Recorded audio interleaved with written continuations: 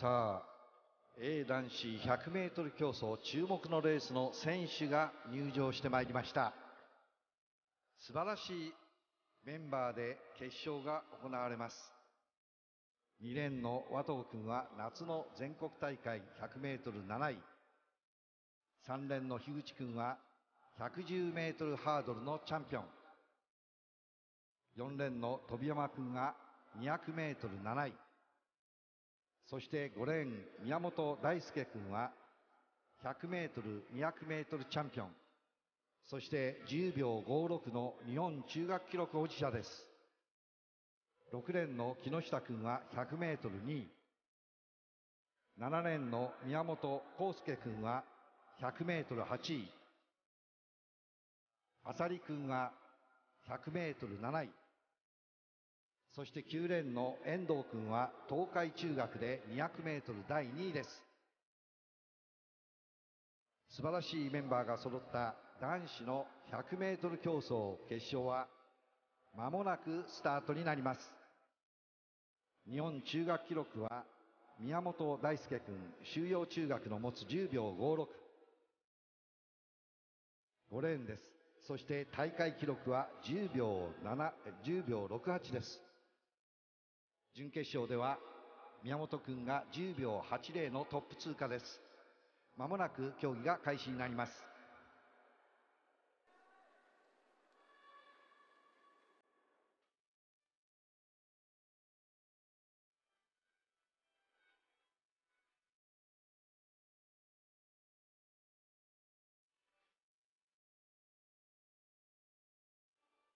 トラック競技は A 男子100メートル競争決勝です。それでは、出場者を紹介いたします。第2レーン、和藤和馬君、延岡東美。第3レーン、樋口陸斗君、河野池 SC。第4レーン、飛山大河君、越野。第5レーン、宮本大輔君、収容。第6レーン木下弘樹君緑が丘。第7レーン宮本康介君地図第2第8レーン浅利クロード君中村西。第9レーン遠藤圭斗君東都以上8名の出場で A 男子 100m 競争決勝です。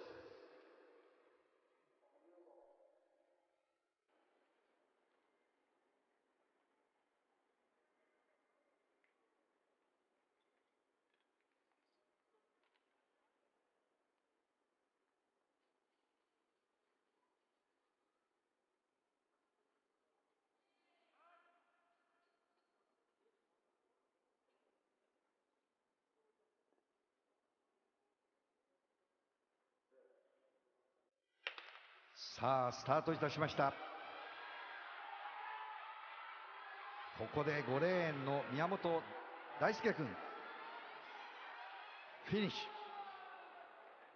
うん残念ながらコンディション非常に気温も下がってまいりましたし現在雨模様。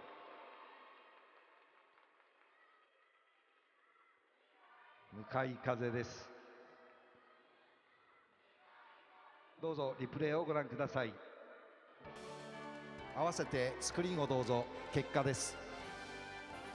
1着は宮本君収容10秒82 2着木下君緑が丘11秒073着飛山君星野11秒134着浅利君中村西11秒165着宮本君木津台に11秒23